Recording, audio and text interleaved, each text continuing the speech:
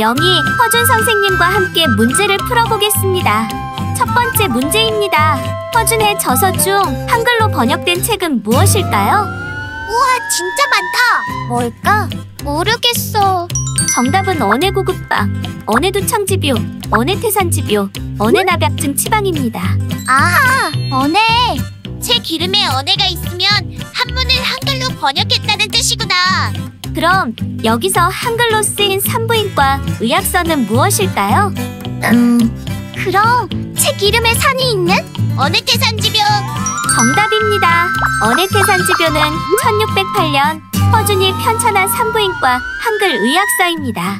임진왜란 이후 식량 부족과 전염병으로 산모와 아이의 질병과 사망률이 많아지자 선조가 직접 허준에게 명을 내린 건데요. 백성들도 읽기 쉬운 산부인과 의학서를 만들라. 조선 최고의 명의이자 임금의 건강과 병을 돌보던 어이 허준. 그가 직접 어명을 받아 출산에 관한 증세와 처방법을 담은 한글 의학서를 편찬한 겁니다. 와, 동의보감을 지으신 허준. 사실 당시에도 이미 산부인과 의학서가 여러 권 있었는데요. 하지만 모두 한자로 쓰여 있어서 백성들이 읽기 어려웠습니다. 한자는 어려워. 언해태산지묘에는 아이의 잉태부터 산후조리기까지 임산부에게 발생할 수 있는 증상 49개와 치료법이 한글로 기록돼 있습니다.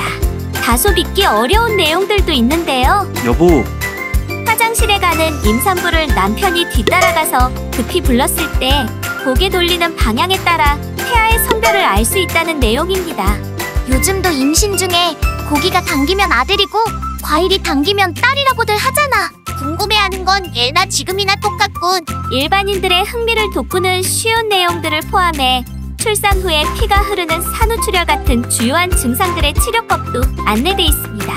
오늘날 의학 지식을 바탕으로 보면 믿기 어려운 이야기도 있지만 아이를 지키고 싶어하는 부모의 간절함을 헤아린 선조의 따뜻한 마음 그리고 그 뜻을 받들어 다양한 의학 지식을 정리한 명이 허준 무엇보다 이러한 뜻을 실현시킨 실용과 애민 정신을 담고 있는 한글 이 모두가 모여 산부인과 한글 의학서 언해태산지교가 탄생했습니다.